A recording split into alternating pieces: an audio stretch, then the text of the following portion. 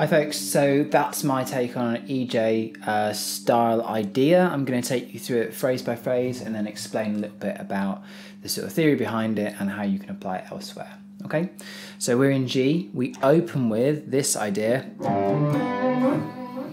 which is we're outlining a G triad. So we have the root note on the third fret of the E, we have the perfect fifth on the fifth fret of the A, and we have the major third on the fourth fret of the G string. So this shape is one that you'll see Eric using quite a lot. They're called open voice triads. So in other words, when you usually construct a triad, it is stacked as root, third, and fifth, stacked thirds. What we do with this sort of shape is we take the third and we move an octave higher, so you get this nice spacious uh, sound. So we're going to play that. Okay, to open our lick. We then jump right up to the kind of 10th position and we have this phrase. Okay, which uh, starts with the 13th fret of the B string and then we have one of these sitar type bends where we go from the perfect fourth to the major third and we very quickly bend and release the 12th fret of the B. So we get, so that's the 13th fret of the B followed by the 12th fret being bent and released very quickly. Okay, and then we walk up this position of the pentatonic scale, uh, which in this case is 13th fret of the B string, 10th fret of the E string, and then 12th fret of the E string. Okay, now begins um, our uh, probably one of the most recognizable traits of Eric's playing this sort of descending fifths thing. Um,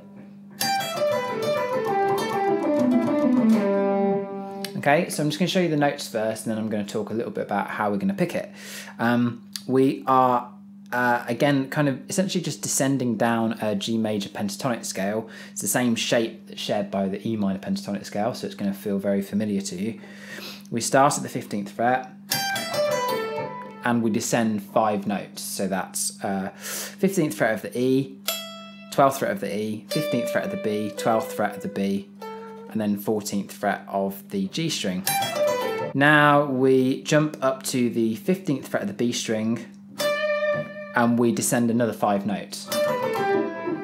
So we get.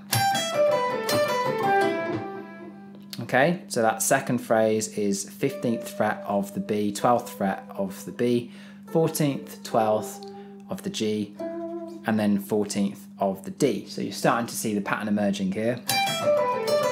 We're going to do the same thing again, which is again starting on the 14th fret of the G this time, 14th, 12th, 14th, 12th, 14th on the A. So we should have. Okay, for the last um, part of this phrase, we break out the shape a little bit. So we start at the 14th fret of the D, come down to the 12th, then 14th, 12th on the A, but then drop down to the 10th fret. So very slowly we get.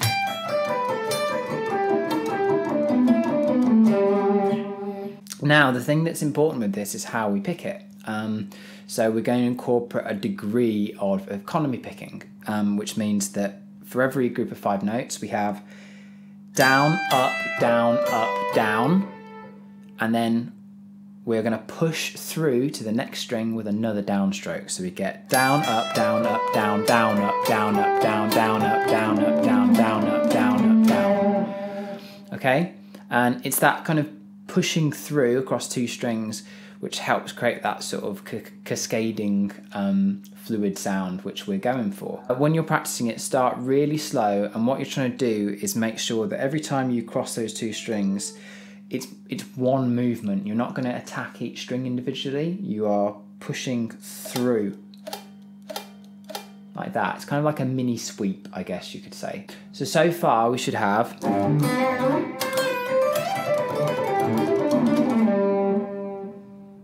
Now, um, we are going to reiterate the idea that we started with. So at the 10th fret of the A, we're going to bring back this open voice triad idea that we opened the lick with.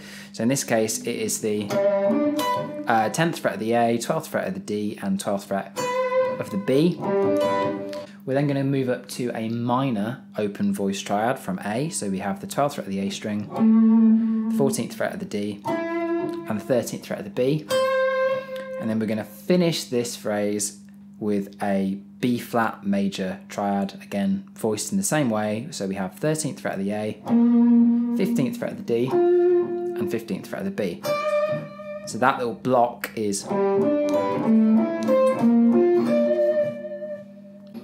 And then just to conclude this, we jump back down the neck to our root note on the fifth fret of the D string, slide up to the major second at the seventh fret and back down, hit our root note, and then finish with a big Cliffs of Dover style uh, wide bend at the um, 18th fret of the B string. So altogether we should have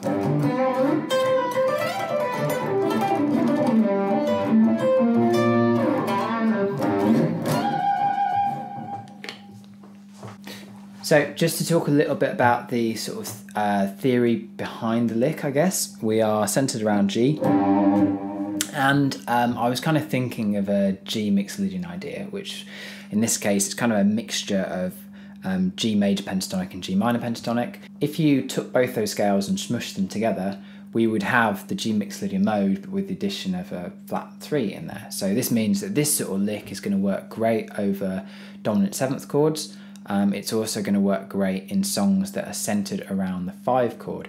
Now, don't worry if you don't know exactly what I mean. I'm going to do um, a separate lesson on modes, but just to give you an example, um, if we have the key of C major, which has the chords C major, D minor, E minor, F, G major, E minor, uh, B diminished, and then C. If we have that as our palette of available chords, but our song starts on a G, that means that we are playing in a mode. We're in the key of C, but we are acknowledging another one of those chords as being the tonal center, and that's what our ear hears as being home. So in this case, the lick that I've just shown you is really based in the key of C major, but centered around G, which means G Mixolydian what I'd always encourage you to do is think about what you can take away from the lick. So the, the kind of uh, the three EJ-isms that I'd sort of picked up on there were the open voice triad thing, which we talked about earlier. So um, instead of playing a triad like that, root, third, fifth, you rearrange the notes by moving the third an octave higher. And you get that instantly recognizable uh, Eric Johnson style thing. Okay, the second EJ-ism that we can nick are these um, very fast sitar-like bends. So, uh, Ian Thornley from Big Wreck is another big user of this technique.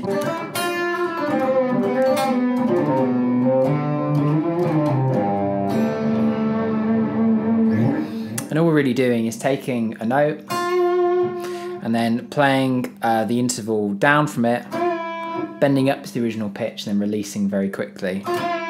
It works best where you've got a half step in the scale. So in this case, we have uh, between the flat seven and the six, or the sixth and the fifth fret on the B works well, and between the perfect fourth and the major third, which is the uh, fifth and the fourth fret of the G string.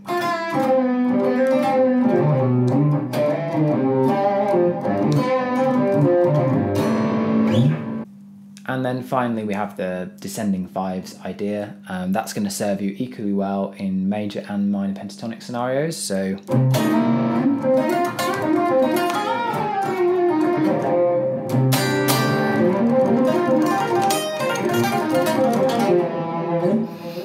So that's using the same pattern but in like a minor pentatonic scale rather than a major, but exactly the same fingering, exactly the same picking. Um, that's something that you can start using right away. Just take your time when you're building the speed up with it and make sure that you stay really relaxed with your right hand. Um, the other thing that can help with that a little bit is uh, tilting your pick slightly forward and also angling it so you've got less resistance when you're picking the passages. Cool, hope you've enjoyed this lick. Uh, this will be the first of many. Uh, take it, learn it, go and try and bend it into some different scenarios, incorporate it to your own licks, make it your own. Okay, guys, see you next time.